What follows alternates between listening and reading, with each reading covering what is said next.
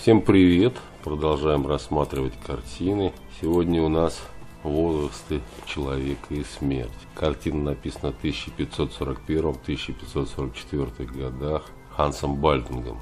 Дерево масла 151 на 61. Ханс Бальдинг по прозвищу Грин, немецкий живописец-гравер, ученик Альбрехта Дюрера, мастерской которого работал 1502-1504 годах. Бальдинга прозвали Грин, возможно, потому что он любил зеленый цвет.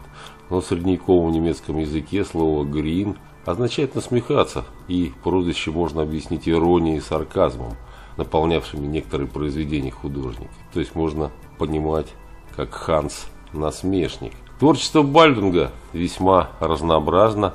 Оно включает религиозные композиции, произведения на аллегорические и мифологические сюжеты, эскизы витражей гобеленов, множество графических работ, особенно книжных иллюстраций. Для мастера очень важна была философская разработка темы смерти в ее аллегорических вариантах, ставшей исключительным явлением в искусстве Германии. В этой композиции возрасты человека и смерть представлена аллегория трех возрастных периодов человеческой жизни.